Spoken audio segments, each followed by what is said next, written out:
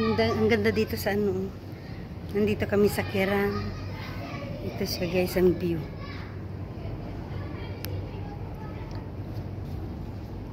Yan ang baba. May swimming pool dyan oh, sa baba. Hanggang doon ang kabahayan.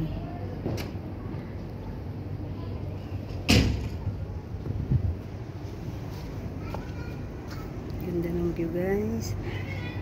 Dito ako sa ano sa balkonahe sa taas. Yan ang view. Taas.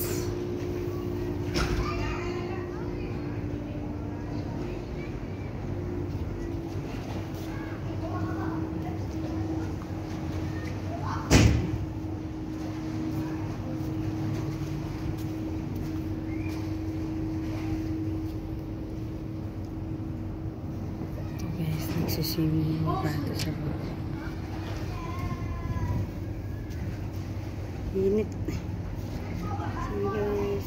Bye-bye.